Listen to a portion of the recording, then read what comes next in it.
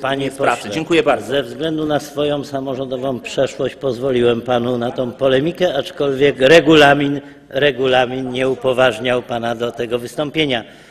Głos zabierze pan poseł Kosma Złodowski. Bardzo proszę.